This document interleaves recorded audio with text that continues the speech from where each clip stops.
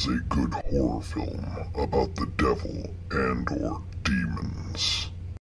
I trapped the devil. Matt and Karen visit Matt's brother Steve as they are concerned for him during the holiday. They arrive to his house that is covered in black and giving off a very eerie, disturbing presence. Inside, Steve has been bombarded with visions of his dead wife through the television, as well as receiving disturbing phone calls from an unknown caller. Matt and Karen, when asking Steve about all of this, are shown a padlocked door in the basement with a giant cross on it. Behind the door, they hear a man's voice begging for help, which Steve prevents them or anyone from doing. Behind the door, Steve claims to have trapped the devil.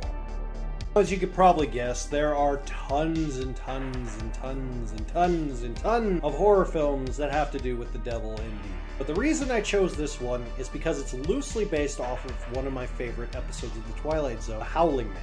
It executes it in a practical, modern context, and I really enjoyed it. Josh Lobo wrote, directed, and produced this movie, and he does a fantastic job with this. He's a relative unknown, as well as most of the cast are, but they shine in this movie.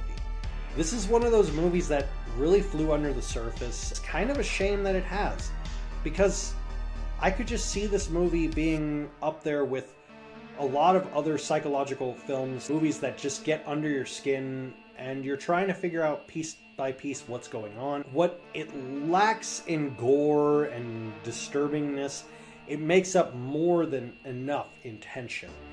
You're not sure is what's happening really the devil? Is it all in the main character's head? Is it him battling his own grief?